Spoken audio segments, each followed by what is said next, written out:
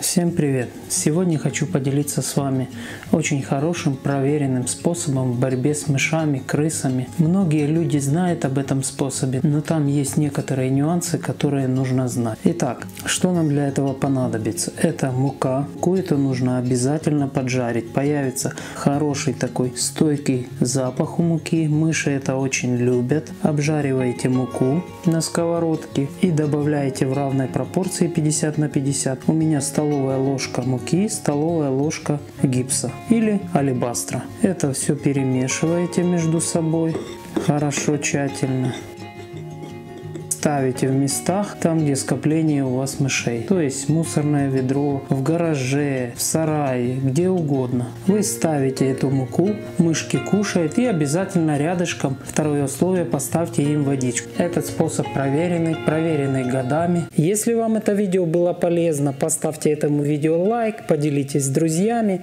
Всем добра, удачи и до новых встреч. Скоро увидимся.